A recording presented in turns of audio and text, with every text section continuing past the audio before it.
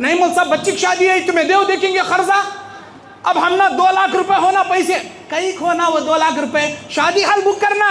क्या ज़रूरत तुम ना शादी हाल में निकाह कर को देने की? मस्जिद में निकाह करो, जी।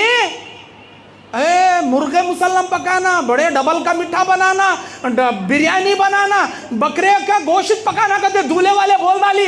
हालाँकि दूल्हे वाले घर में मुर्गिया का गोश्त खाते रहती बड़े का गोश्त खाते रहती। लेकिन दुल्हन वाले का खून चूसने के वास्ते डिमांड क्या करती? हमारे पास रिश्तेदार मुर्गा नहीं खाते, हमारे पास रिश्तेदार मुर्गिया नहीं खाते, हमारे पास रिश्तेदार बड़े का गोश्त नहीं खाते, पित्ता उछलती कहते अंदर से फोड़े फूटती कहते बकरे का काटना, छह सौ रुपए किलो, आठ सौ रुपए किलो, ताज़ा बकरा देख काटना। ऐसा बोल को दुल्हन वाले की गर्दन आधी कटे रहती, इन्हें भी डिमांड आकर पूरी गर्दन काट डालता। अब बेचारा कहाँ से लेंगा?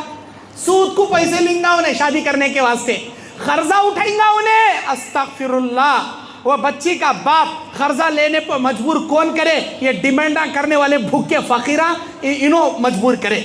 जहेज की मांग करने वाले भूखे फकीरा, इनो मजबूर करे उनको।